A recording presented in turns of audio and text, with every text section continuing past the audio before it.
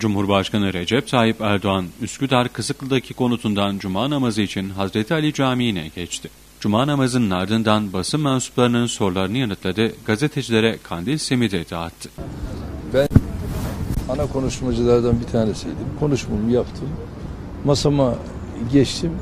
O da kimden nasıl izin aldı bilmiyorum. Oradan çıktı bana cevap yetiştirmeye kalktı. Onun cevabına ben cevap mı vereyim? Türkiye Cumhuriyeti'nin Cumhurbaşkanı böyle bir seviyeye düşer mi? Sadece onun orada birkaç kelamını dinleyerek onunla yetindim. Doğru dürüst kimse de alkışlamadı.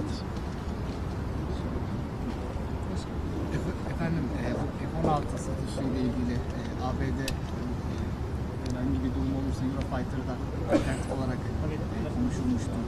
Bu Şimdi ben böyle bir alternatiften bahsetmedim. Ama ne dedim? Dünyada dünyada bunun da alternatifleri var. Bu konuyla ilgili biz nasıl Patriotlarla ilgili bizim ihtiyaçlarımız karşılanmayınca S-400'leri aldıysak F-16 konusunda da Amerika eğer ihtiyacımızı gidermezse dünyada bu ihtiyacımızı giderecek çok ülke var. Tamam. Teşekkür ediyorum. Hayırlı kandiller efendim. Teşekkür ederiz.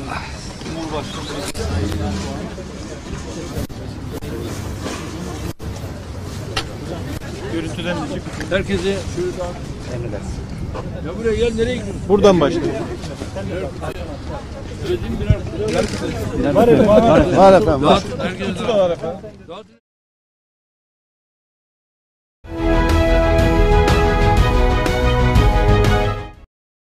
Cumhurbaşkanı Recep Tayyip Erdoğan, yapımı tamamlanan ve temeli yeni atılan cemevlerinin açılış törenine katılmak üzere Kadıköy'de bulunan Şahkulu Sultan Dergahı ve Cemevine geçti. Cumhurbaşkanı Erdoğan törende Alevi Bektaşi toplumuna yönelik olarak yaptığı konuşmada Alevi Bektaşi toplumu için kurumsal bir yapı kuruyoruz dedi. Kurulacak Kültür ve Cemevi Başkanlığı ile birlikte cemevlerine ait elektrik, su, onarım ve bakım gibi giderler karşılanacak dedi. Alevi Bektaşi kardeşlerimizle hasbihal etmek için bir aradayız. Elazığ Karakoçan, Ankara altında, Erzurum ve Erzincan Kemah'ta hizmete açacağımız dört cemevinin kullanacak vatandaşlarımıza hayırlı olmasını diliyorum. Kütahya ve Kayseri'de inşası süren Burdur, Çavdır, Denizli, Ardışlı, Bilecik, Bozüyük, Aydın, Koçarlı ve Kırklareli Babaeski'de temelini bugün atacağımız 7 cemevinin de bir an önce tamamlanarak hizmete girmesini temenni ediyorum.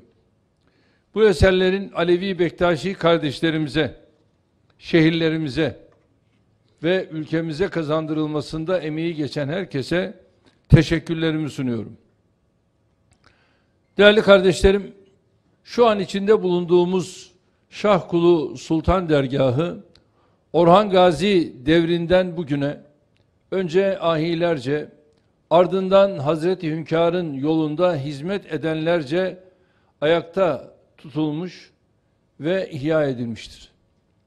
Bunca asırdır dergahımızdan gelip geçen, konan, göçen herkesten Allah razı olsun diyor. Her birinin rahmetle yad ediyorum. Dergahımızın son dönemdeki mürşitlerinden Mehmet Ali Hilmi Dede Baba bu tür yapılan özellikle eserlerle ilgili şöyle anlatıyor.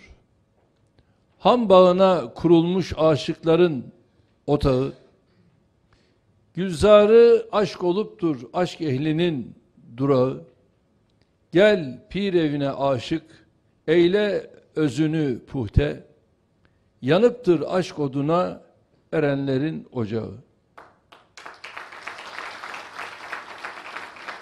Evet bu mekanlar aşk ocağıdır. Edep ocağıdır. Gönül ocağıdır. Buralar Hazreti Peygamber'e aleyhissalatu vesselam ve ehli beytine aşık olanların durağıdır. Dergahlarımızda ilim ve ahlak birlikte yol yürür. Medeniyetimize hayırlı insanlar burada yetiştirilir. Hacı Bektaş Veli ve evlatları ocaklarımızı işte bu gayeyle kurmuşlar, yaymışlar ve yaşatmışlardır. Asırlardır Anadolu topraklarını ilimle, irfanla, hikmetle yoğuran Hazreti Hünkar, Hazreti Mevlana, Yunus Emre gibi gönül sultanları hizmetleri ve eserleriyle millet olma şuurumuzu kolaylaştırmışlardır. Hak dostlarının irfanlarıyla ve nazarlarıyla kurulan bu büyük medeniyete sahip çıkmak, gelişmesi için gayret göstermek her birimizin vazifesidir. Sevgili Peygamberimizin birlikte rahmet, ayrılıkta azap vardır düsturuna sıkı sıkıya sarılarak heva ve heveslerin değil, baki olanın peşinde koştuğumuz müddetçe bu medeniyet hep yükselecektir. Dünyada baki olan ise yalnızca muhabbettir ve onunla birlikte gelen mükellefiyetlerdir. Muhabbetten Muhammed oldu hasıl, Muhammedsiz muhabbetten ne hasıl kelamı kibarı bize bu hakikati ifade etmektedir. Bugün karşı karşıya kaldığımız imtihanlarımızı da ancak aşkla, muhabbetle birlikte, beraberlikle, kardeşlikle göğüsleyebiliriz. Milletimiz asırlardır bu coğrafyada karşı karşıya kaldığı her tehdidin üstesinden bu muhabbetle gelmiştir. Önde gelen tarihçilerimizden ve Nazen'in yolunun evlatlarından Aşık Paşa bu durumu şöyle ifade ediyor. Pes bilin ki nerede birlik var ise kim kiminle ikiliksiz yar ise iki cihan devleti onlardadır. Onların menzilleri canlardadır. Cümle işin en üstünü birliktir birliğe varmak, birlik olmak erliktir. Neredeki iki gönül birliktedir, göresin bunlar gani dirliktedir.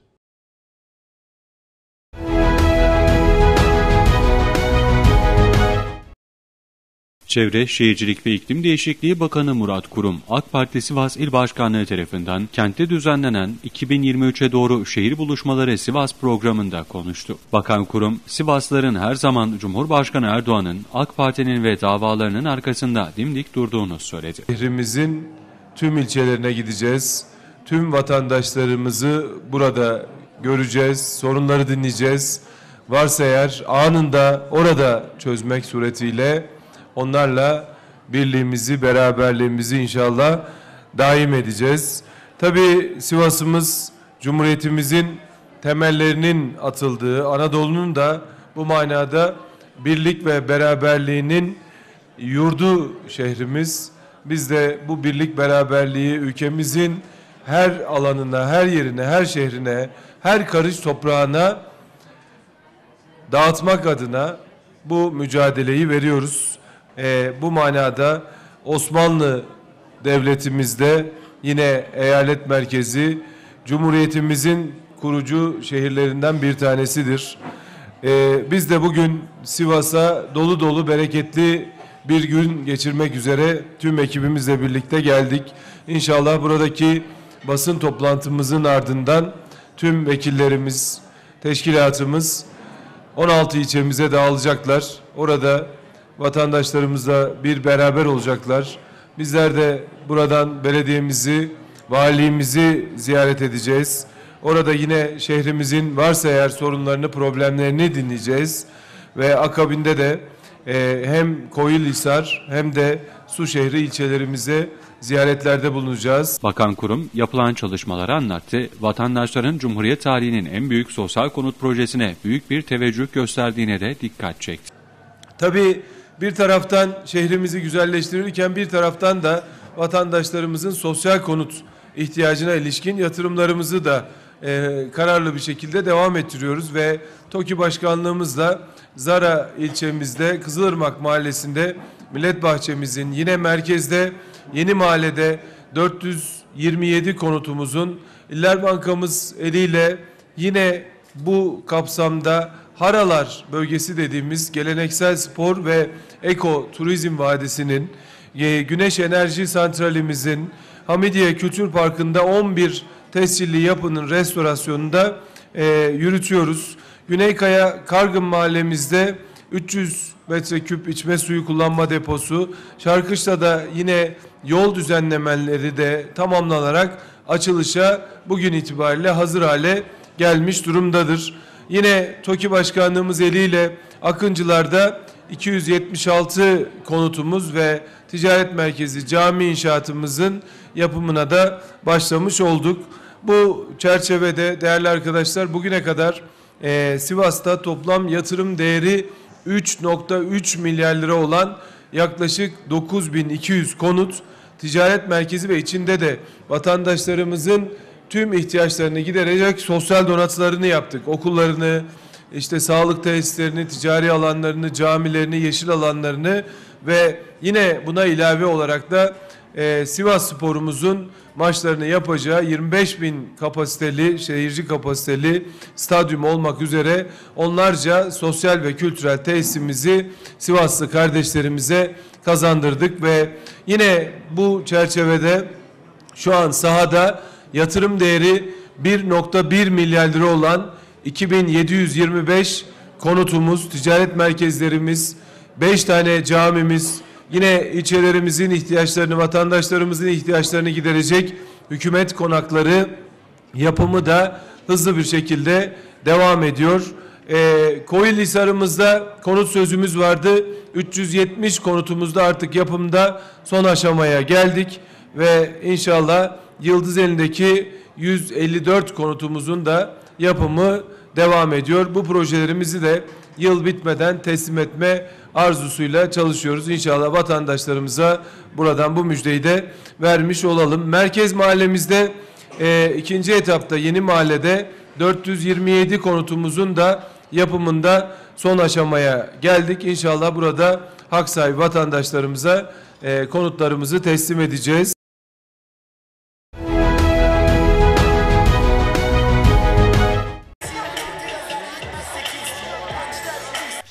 Denizli Büyükşehir Belediye Başkanı Osman Zolan, Büyükşehir Belediyesi Kent Konseyi Gençlik Meclisi'nin düzenlediği Kampüsün Buluşması adlı programın konuğu oldu. getirin. Herkes bunu ister. Arkadaşımızı alkışlıyoruz. Can Kurtaran mesleğinde düzenlenen programa Başkan Zolan'ın yanı sıra Kent Konseyi Başkanı Ali Değirmenci, Kent Konseyi Gençlik Meclisi Başkanı Tunahan Birden, Pamukkale Üniversitesi'nde faaliyet yürüten gençlik topluluklarının temsilcileri, öğrenciler ve gençlik meclisi gönüllüleri katıldı. Bana tam buraya tamam mı? Şöyle ortaya.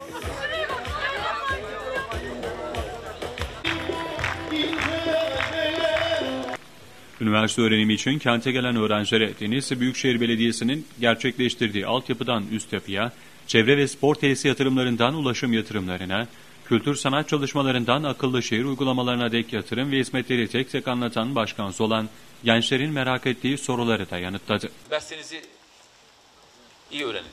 Sorulduğu zaman şu işi kim iyi yapar? Sizlerden birisi gösterirsin. Bu desin. Yani bu, bu, bu iş yapar. O seviyeye gelinceye kadar durmak yok, çalışmaya devam. Tamam? Eğitime devam, koşmaya devam.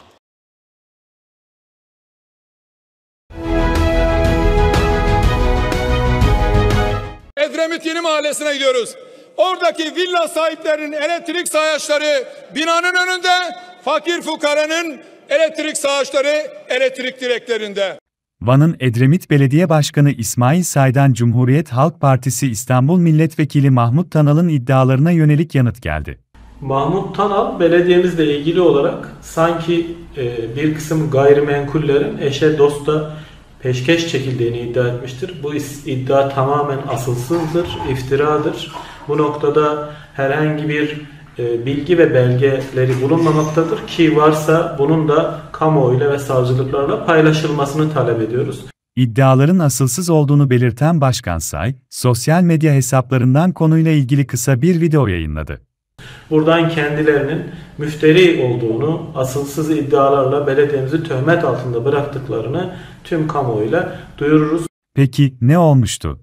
Meclisin yeni yasama döneminde ilk mesai, gergin başlamış, CHP'li vekil Mahmut Tanal, kürsüde Van'ın sorunlarından söz etmişti. kirlilik sorunu var. 3. Çevre yolu sorunu var. 4. Genç işsizlik oranı çok yüksek. 5. Pandemi öncesinde Van'da 15 uçak günde uçarken şimdi 7 ve 8 uçak uçuyor arkadaşlar. 15 uçaktan 7-8 uçağa indi. Tanal, Van ilinin Edremit ilçesi var, oradaki belediyeye ait taşınmazlar eş dosta peşkeş çekilmiş durumda demişti. Bana laf yetiştireceğine git susuz okula gidemeyen öğrencilere okulu sağla. Bu ülkede sen bakanlık yapmışsın bakanlık. Senin bakanlığın sıfır sıfır. Bakanlık yapmışsın sen.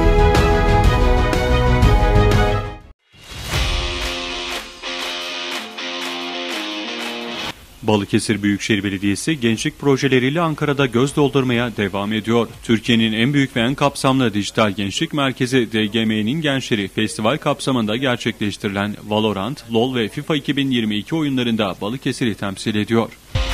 Gençliğe yatırımlarını sürdüren Balıkesir Büyükşehir Belediye Başkanı Yücel Yılmaz, bugün Tam Bana Göre Festivali'nde Cumhurbaşkanımız Sayın Recep Tayyip Erdoğan'ın elinden dördüncü kez ödül aldı. Gençlik ve yerel yönetimler temasıyla gerçekleştirilen Tam Bana Göre Festivali'nde genç belediye ödülünü alan Balıkesir Büyükşehir Belediyesi standı ziyaretçilerin yoğun ilgisiyle karşı karşıya. Ankara Başkent Millet Bahçesi'nde gençlik ve yerel yönetimler temasıyla düzenlenen Tam Bana Göre Festival'de Balıkesir rüzgarı esmeye devam ediyor. Türkiye'nin en genç Büyükşehir Belediye Başkanı Yücel Yılmaz'ın önderliğinde birçok gençlik projesini hayata geçiren Balıkesir Büyükşehir Belediyesi'nin standı gençler tarafından da büyük ilgi görüyor. Festivalin ilk gününde mobil dijital gençlik ve spor tırı projesiyle Cumhurbaşkanı Recep Tayyip Erdoğan'ın elinden genç belediye ödülü alan Başkan Yücel Yılmaz'ın projesi Ankara'da Türkiye'nin her yerinden gelen teknoloji meraklısı gençlerin de dikkatinden kaçmıyor. Dijital tırımızın, spor tırımızın kırsal alanlarda göstermiş olduğu faaliyetlerden şu anda Gençlik Festivali'nde Büyükşehir Belediye Başkanımız ödül aldı. Gençlik faaliyetleri kapsamında dijital e, gençlik merkezimizin en büyük dijital gençlik merkezi olarak e, sıralamada yer almasıyla çocukların yeteneklerini sergilediği bir alan oluşturduk. E-spor oyunları ve VR gözlükle yapılan sanal gerçeklik turlarıyla gençlerin cazibesini kazanan Balıkesir standında Türkiye'nin en büyük ve en kapsamlı dijital gençlik merkezi olan Balıkesir Dijital Gençlik Merkezi'nin tanıtımları da yapıldı. Festival kapsamında pazar gününe kadar sürecek olan e-spor turnuvasına katılacak olan DGM'nin gençleri, beşer kişi olarak Valorant ve LoL'de, bir kişi de FIFA 2022'de Balıkesir Büyükşehir Belediyesi'ni temsil ediyor. Çok güzel. Gençlere yönelik çok fazla içerik var. Buraya gençlik için geldik. Güzel bir yer. Gençleri, şehirlerimizi, ilçelerimizi iyi tanıtıyor.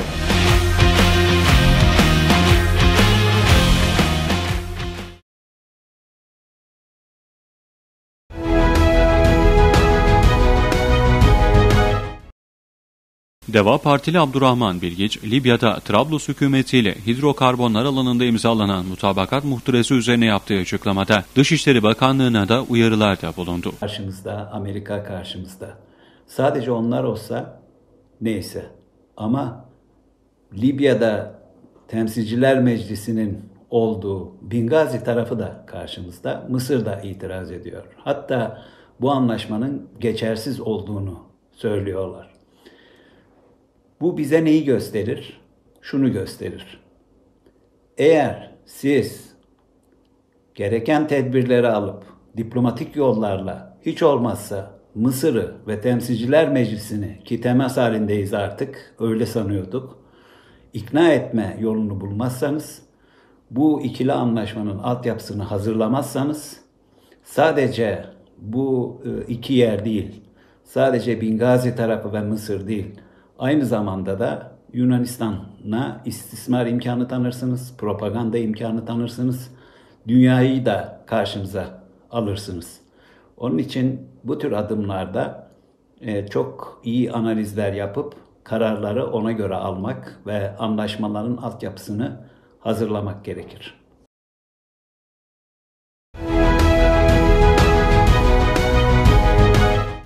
Van Ekonomist dergisi tarafından düzenlenen Van'ın Enleri yarışmasının ödül törenine katılmak üzere Van'a gelen Küresel Gazeteciler Konseyi Başkanı Mehmet Alidim, Alanya Mahmutlar Koruma ve Yaşatma Derneği Başkanı Mesut İlhan ve Küresel Gazeteciler Konseyi Van İl Temsilcisi İkram Kalizeor Medya'yı ziyaret etti. Küresel Gazeteciler Konseyi Başkanı Mehmet Ali Dim ve beraberindekiler, Orhan Oluğun ve Zeki Yiğit tarafından karşılandı. Cumartesi akşamı yapılacak olan Van'ın enleri için kente geldiğini belirten Başkan Dim, bu sayede ilk defa Van'ı ziyaret etme fırsatı bulduğunu ifade etti. Ee, ilk defa Van'a geldim. Bu benim eksikliğim. Ben gerçekten kendimi gezgin olarak ifade ederim. Dünyada yüze yakın ülkeye giden, Türkiye'nin hemen hemen her yerine gitmiş olan bir kişi bana e, bugün gelebildim. Çok mutlu oldum. Özellikle e, Orhan Bey'e, Orhan Olgun Bey'e teşekkür ediyorum. E, yani 8 Ekim akşamı da e, Van'ın enleri ödül törenine katılacağız. Değerli Orhan Olgun Bey'in organizasyonuyla. Orada da inşallah Van e, protokolüyle ve Van'daki gazeteci arkadaşlarımızla ve tabii ki Van'da e, öne çıkan e, Van'ın kanaat önderleriyle bir araya geleceğiz. Van için doğunun başkenti ifadelerini kullanan Dim, herkesi Van'ı ziyaret etmeye davet etti. Van umduğumun çok üzerinde çok gelişmiş bir şehir. Hakikaten e, doğunun e, başkenti diyebileceğimiz vasıfta e, donanımlarıyla, e, insanlarıyla ve mevcut turizm potansiyeliyle.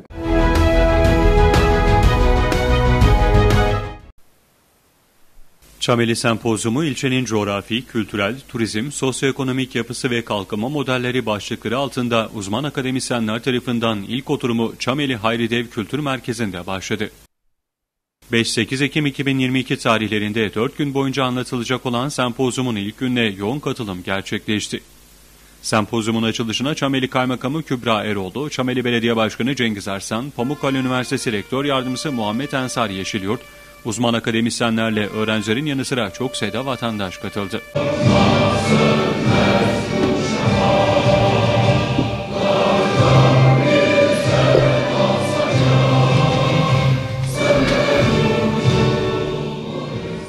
Çameli ilçesi için ilk defa yapılan sempozyumun gelecekte yapılacak bilimsel çalışmalara ışık tutup ulusal ve uluslararası anlamda ön plana çıkartması amaçlandığını dile getiren Çameli Belediye Başkanı Cengiz Arslan, başarılı çalışmalarıyla görevini sürdürdüğü ilçenin geleceği için önemli bir adım gerçekleştirildiğini söyledi. Evet, e, teşekkür ediyorum. 2020 yılında yapmayı düşündüğümüz ama pandemiden dolayı bugüne ertelediğimiz birinci Çameli Sempozyumu'nun ilk gününü başarılı bir şekilde geçiriyoruz çok şükür. Ben katılımcılarımızın hepsine çok çok teşekkür ediyorum. Gerçekten güzel bir başlangıç yaptık. E, bugün burada e, özellikle arkamızda duran resimler Çameli'deki endemik türlerin arkadaşlarımız çalışma yaptılar. E, onların resim sergisi, fotoğraf sanatçı arkadaşlarımızın fotoğraf sergisinde sergiledik. Tabii uzun soluklu bir süreç. Yani yaklaşık 55 bildirimiz var. 55 hocamız akademik anlamda çalışmalar yaptılar. Çamel'in tarihini, kültürünü, yapısını, her şeyini incelediğimiz bir sempozyum oluyor. İnşallah sempozyum bitirdikten sonra da e, değişikliğe talep eden hocalarımızın değişikliklerini aldıktan sonra hemen Çameli Sempozyumu internet sayfasını aktif hale getireceğiz. Herkes oradan bütün bildirilere ulaşabilecekler. Eğer e, sempozyumumuza katılamayan, takip edemeyen arkadaşlarımıza da çok yakın zamanda e, www.çamalisempozyumu.com sitesinden buradaki bildirilerin hepsine ulaşabilirler. Sempozyuma büyük bir emek harcadığını işaret eden Pamukkale Üniversitesi Rektör Yardımcısı Muhammed Ensar Yeşilyurt'ta, ilçeler için yapılan bu tür sempozyumlar gerçekten önemli. Bu sempozyumlar ülkelerin kalkınmasına yardımcı oluyor dedi. E, bu tür sempozyumlar, ilçeler için yapılan bu tür sempozyumlar gerçekten çok önemli. Çünkü dünyada e, ülkelerin kalkınması öncelikli olmuştu yıllarca. Ama ülkeler kalkınırken bazı yöreler çok hızlı gelişirken bazı yöreler daha yavaş gelişiyor tabii ki. E, bunun için bu bölgelerin hızlıca geliştirilmesi için bütün dünyada bir eğilim var. Ama bunun başarılı olabilmesi için mutlaka yerel güçlerinde buna sahip çıkması gerekiyor. Bu tür sempozyumlar da işte bu yerel güçlerle bu olaylara objektif bakabilecek olan dışarıdan araştırmacıları bir araya getirip sorunların ortaya çıkmasına ve bunlara yönelik çözümlere çok büyük katkı sağlıyor. Çameli Kaymakamı Kübra Eroğlu ise ilçenin tanıtılması ve mevcut potansiyelin ortaya çıkarılması için önemli bir sempozyum olduğunu söyledi. Bu yıl ilki düzenlenen Çameli Araştırmaları Sempozyumunu hepiniz tekrardan hoş geldiniz. Değerli konuklar, bugünden itibaren 3 gün boyunca ana teması Çameli olan ilçemiz için her biri birbirinden değerli konular, değerli akademisyen ve araştırmacılarımız tarafından birçoğu ilk kez hazırlanmış çalışmalarla huzurumuzda olacaktır. Bugün burada başarılı çalışmalarını değerli bilim, bilim kurulumuza sunan tüm akademisyenlerimizi de kutlamak isterim. Yoğun katılımla başlayan 1. Çameli Sempozyumu'nun ilk günü Çameli Belediye Başkanı Cengiz Arslan'ın Çameli Zehir Katanlar, Çameli Şehitleri konulu sunumuyla başladı. Yani bugün e, birçok defa kürsüye çıktık. Ulusal ve uluslararası alanda konuşmalar yaptık ama ben ilk kez e, burada e, Çamelilere yani bize, hepimize Çameli arkeolojisini anlattım. Bu çok önemli bir durum. Özellikle de buraya gelme amaçlarımdan birisi hem bu tarih eserlerimizin nasıl korunacağının hem de nasıl bir şekilde gelecek kuşaklara aktarılacağının aynı zamanda bölge tarihinin, bölge geçmişinin nerelere kadar gittiğinin e, net bir şekilde algılanmasını sağlamaktı.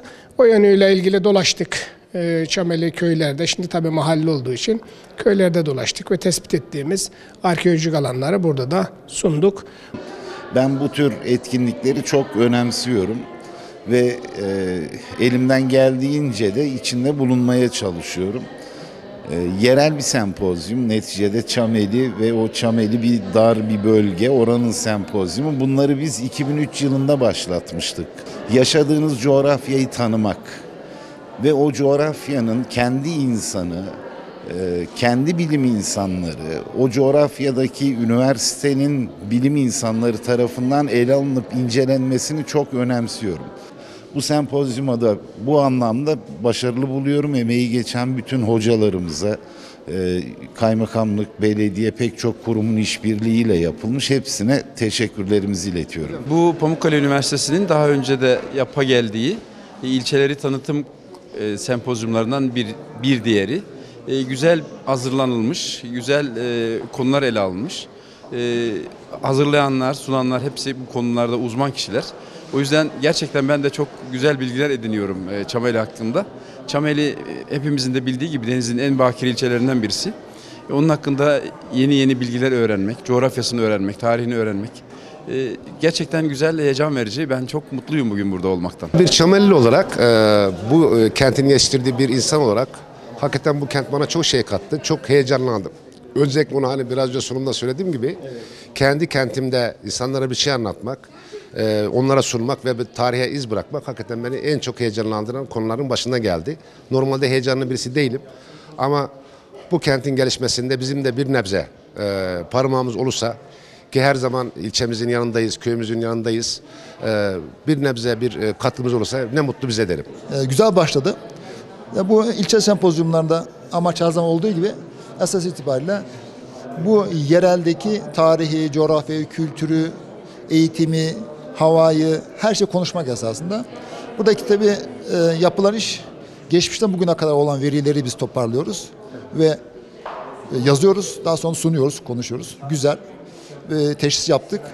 Burada tabi bir hmm, eksikler ortaya çıkacak. Bunları nasıl geliştirebiliriz? Nasıl iyileştirebiliriz? Bunları daha sonra konuşacağız. Bu da sempozyumdan sonra yapacağımız çalıştaylarla e, yapacağımız işler. Çameli zaten e, kendi coğrafyası, konumu gereği ilginç bir yer. E, karakteristikleri geri, gereği, değerlerine sahip çıkma biçimiyle gerçekten ilgi çekici bir yer. Ama e, İnsanların bu e, akım akım gelişi, ilgi gösterişi, sonuna kadar izleyişi, soruları, merakı bizleri tabii daha da heyecanlandırdı ve özellikle burada bütün akrabalarımızı yani biz bize kan e, kanımızın hani canımızın olduğu bir yerde bunu gerçekleştiriyor olmamız bizi heyecanlandırır. Şu anda da o he, bu farklı bir heyecan. Çok müthiş. Ee, Birçok duygu bir arada yaşıyoruz. Ee, konuşmacılar iyi, katılımcılar iyi, herkesin motivasyonu iyi. Pozitif bir e, enerji var burada. Özel bir konuydu benimki zaten. Tersine göçle ilgili ve köye dönüşle ilgili. Yani bir profesyonel meslek hayatım oldu. Ee, hekimlik yaptık. yaklaşık fakülte dahil 40 yıllık hekimlikten sonra işte şimdi de çiftçilik yapıyoruz. Hem bu, bu deneyimlerimizi ve niye buraya döndüğümüzü paylaşmaya çalıştık katılımcılarla. Ee, katkı sağlamışımızdır inşallah.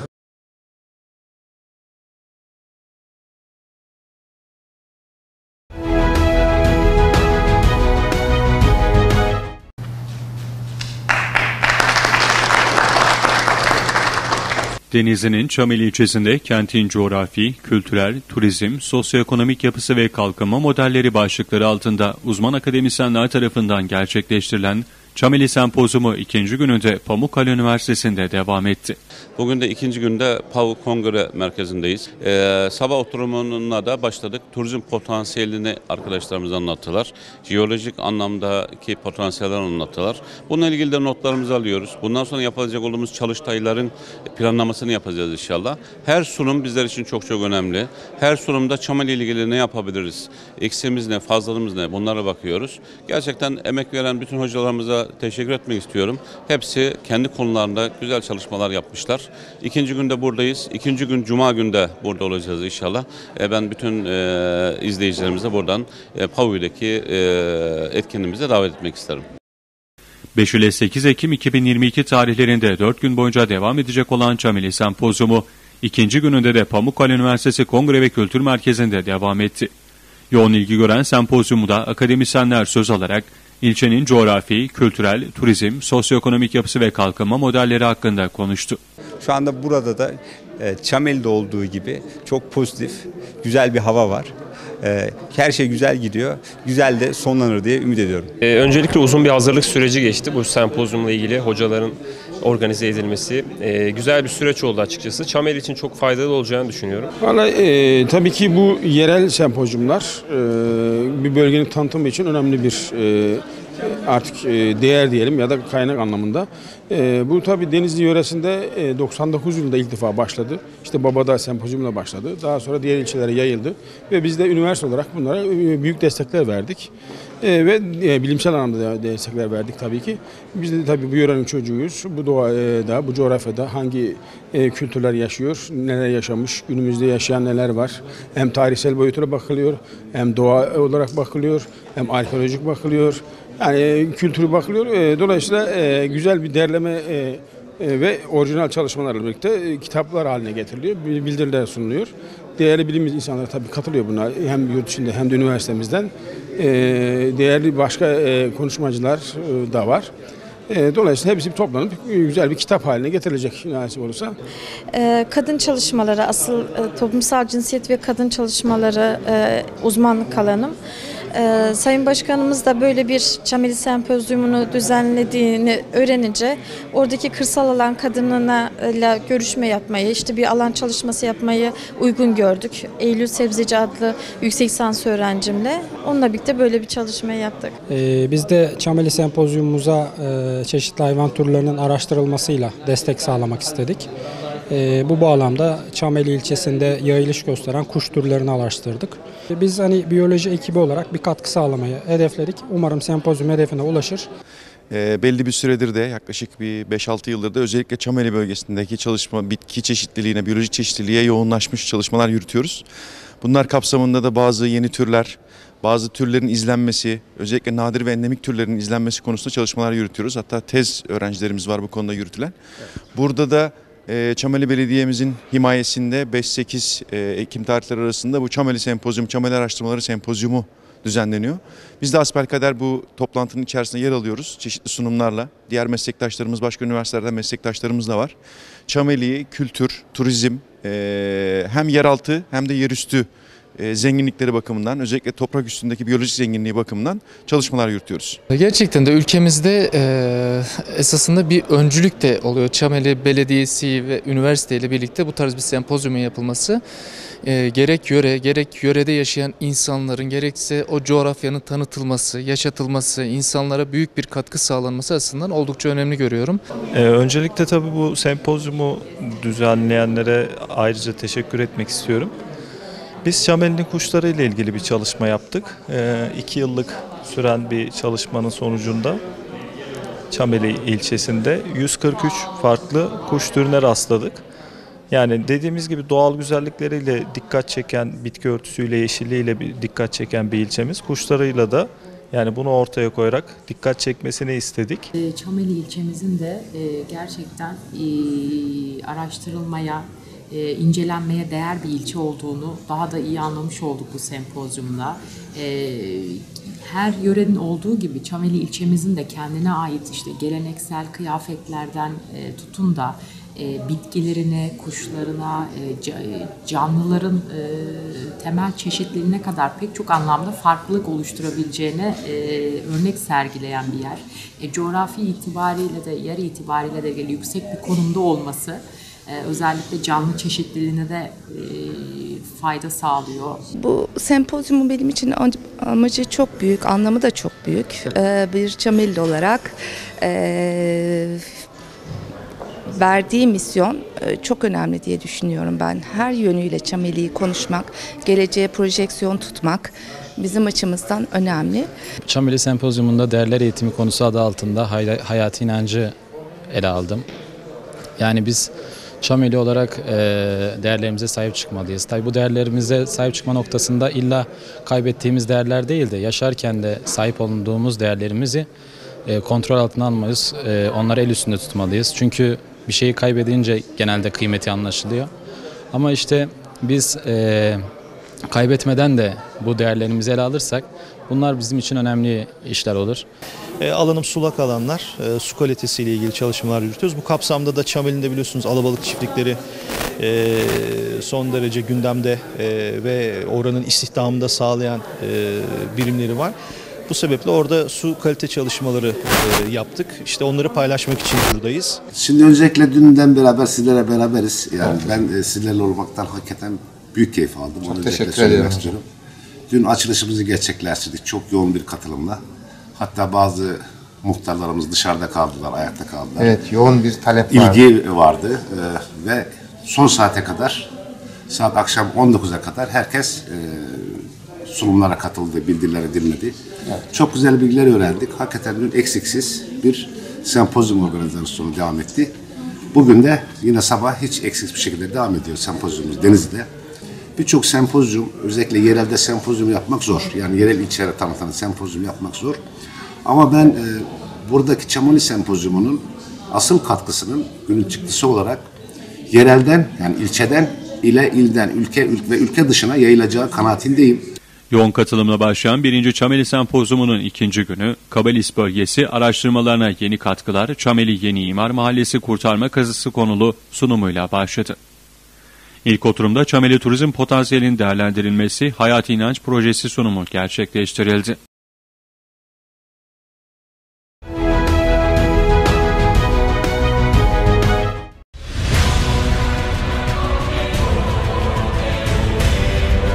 Van Ekonomist dergisi tarafından bu yıl 8.si düzenlenecek olan Van'ın Enleri yarışmasının ödül töreni için geri sayım başladı. Van'ın en iyisi olabilmek için kıyasıya mücadele eden adayların seçileceği yarışmanın finali 8 Ekim Cumartesi günü Van 100. Yıl Üniversitesi Cengiz Andıç Kültür Merkezi'nde gerçekleştirilecek.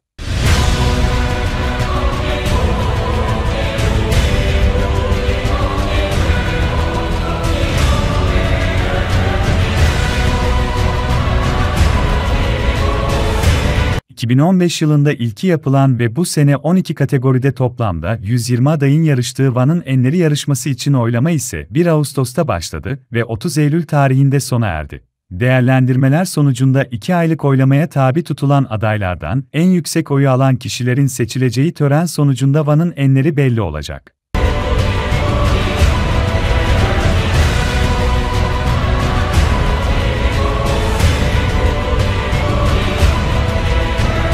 Kazanan adaylar cumartesi günü düzenlenecek muhteşem ödül töreniyle ödüllerine kavuşacak. Yarışma cumartesi akşamı saat 20'de World Türk ekranlarından naklen yayınlanacak.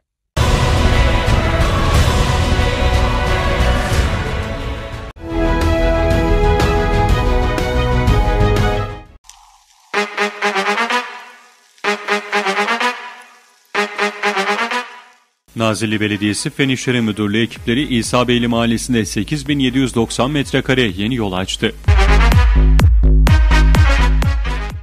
İlçe genelinde yeni yol açma, bakım, onarım ve parke taşı döşeme çalışmalarına devam eden Nazilli Belediyesi, son olarak İsa Beyli'de 8790 metrekare alanda yeni yol açma faaliyeti gerçekleştirdi. Nazilli'nin en çok gelişen ve büyüyen noktalarından olan İsa Beyli'de yeni yerleşim alanlarının olduğu yolların stabilizesini yapan belediye ekipleri kenar bordürleri tamamlayıp parke taşı döşemeye hazır hale getirdi.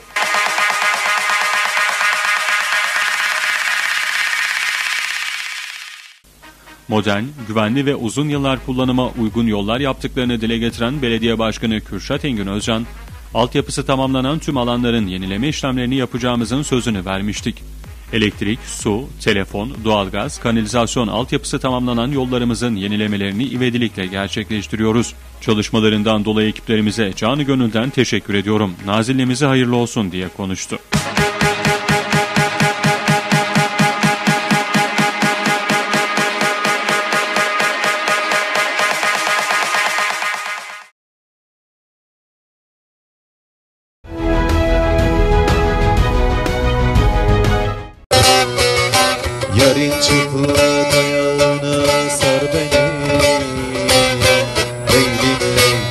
Alaşehir Halk Eğitim Merkezi Müdürlüğü'nde görevli usta öğreticiler tarafından 2022-2023 eğitim döneminde açılacak olan kurslar için vatandaşlar bilgilendirildi. Teşekkür ederiz sağ ol Usta öğreticileri yaptıkları örnek çalışmaları standlarda sergileyerek yerinde uygulamalar yaparak kurs tanıtım programları gerçekleştirdi. 10 Ekim 2022 Pazartesi itibariyle başlayacak olan Her Zaman Her Yerde Herkes için eğitim sloganı ile kurslara isteyen tüm vatandaşlar katılabiliyor. Makyaj, lazer, bölgesel incelme,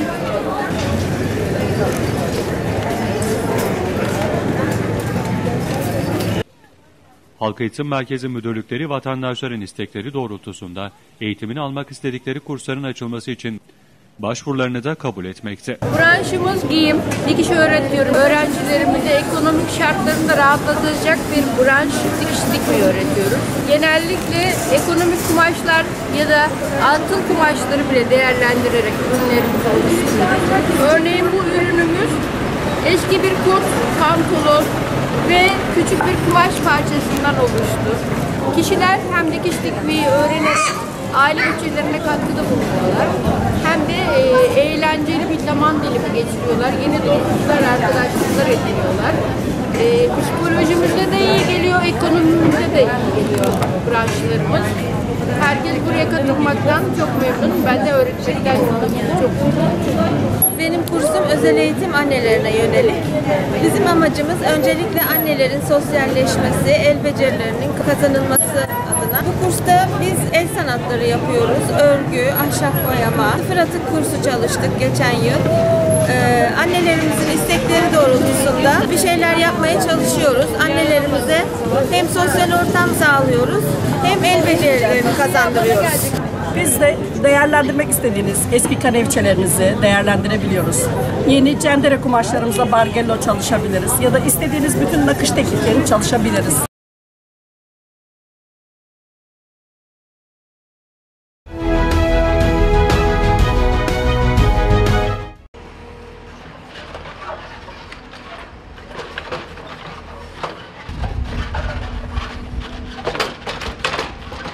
Esenyurt'ta bir ilk olan at binicilik tesisinin yapım çalışmalarında sona gelindi. Esenyurt Belediyesi'nin Gökevler Mahallesi 2330. sokakta yapımına başladığı tesis kısa sürede tamamlanarak vatandaşların hizmetine açılacak. Gençleri atlı sporlara yönlendirmek amacıyla 12 bin metrekarelik alan üzerinde yapımına başlanan 6 bin metrelik kısmında binicilik eğitimlerinin verileceği manej, at bakım alanı ve kafeterya bulunuyor. İçerisinde 600'e yakın bitki türünün yer aldığı tesisin diğer kısmına ise çocuk oyun parkı ve spor aletleri, kameriyeler konuldu.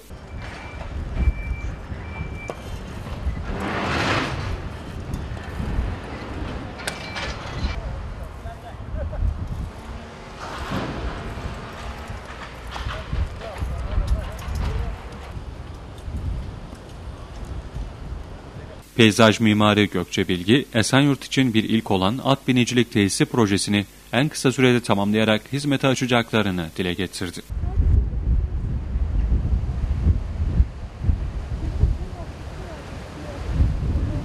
Ee, Gökevler Mahallesi At Binicilik Tesisi ve Park projemizin sonuna yaklaşmaktayız. 12 dönümlük arazimizin 6 dönümünü ayırdığımız parkımızı tamamladık. Park alanımızda spor alanları, çocuk oyun alanları, yeşil alanları ve oturma alanları bulunmaktadır. At binicilik tesisimizin ise manejimizin çelik konstrüksiyonu tamamlandı. At bakım alanları, kafeteryamız, gübrelik ve samanlık alanlarımızın kaba inşaatı bitti. İnce inşaatı ile devam etmekteyiz. Esenyurt için bir ilk olacak bu projemizi en kısa sürede Esenyurt halkımızın hizmetine sunacağız.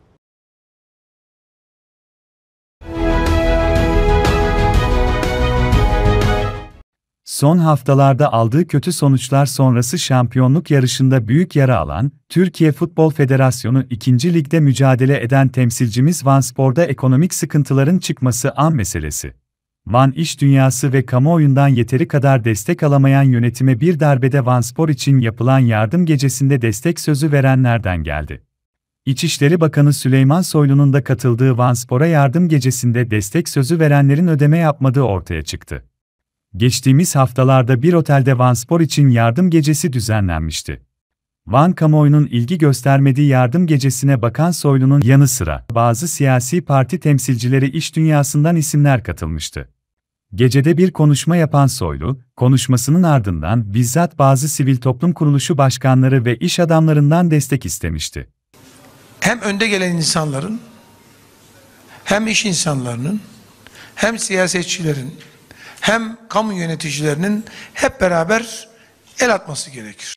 Bakan Soylu'nun destek talebine olumlu cevap veren bazı isimler aradan geçen zaman içinde henüz ödemelerini yapmadı. Kulüp kaynaklarından edinilen bilgilere göre, gecede destek sözü veren bazı isimler kulüp yöneticilerinin telefonlarına dahi dönüş yapmıyor.